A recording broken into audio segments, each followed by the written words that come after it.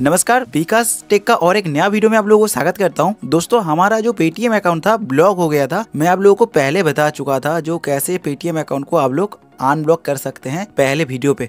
मैं ये भी बताया था, जब आप के करेंगे के करने के बाद आपका एड्रेस पे इस तरफ़ का एक लेटर आएगा जो एड्रेस वेरिफिकेशन के लिए। तो आज इस वीडियो में मैं आप लोगों को बताऊँगा जो कैसे आपको इसका वेरिफिकेशन करना है, आपका पेटीएम ओपन करके इस वीडियो में दिखाऊँगा। ये जो हमको मिला है के करने के पाँच से छः दिन के अंदर हमको मिल गया है। इसके अंदर जो रहते हैं, एक क्यूआर कोड रहते हैं, जो आपको स्कैन करके ये करना है। मैं आपको बताऊँगा, हमको जो मिला है डिलीवरी कुरियर सिस्टम के थ्रू बहुत सारे लोगों को इंडियन पोस्ट से मिलता है, बहुत सारे लोगों को ई कॉम से मिलता है बट ये जो मिला है, हमको डिलीवरी से मिला है, उनको कोड देना पड़ता है। कोड देने के बाद आपका ये डिलीवर हो जाएगा। इसके बाद आपको ये ओपन कर लेना है। एक ओनली सिंगल कागज़ मिलेगा आपको। ये देख सकते हैं, इधर लिखा हुआ है एड्रेस वेरिफिकेशन फॉर के अपग्रेड इधर डिटेल्स लिखा हुआ है एड्रेस भी लिखा हुआ है। इसके बाद देखिए, मैं आपको बताऊँगा तो क्या करना है। पहले आपको ये क्यूआर कोड स्कैन करना है। पेटीएम ऐप में जब आप स्कैन करके पेमेंट करने जाते हैं, तब जो क्यूआर कोड आपको,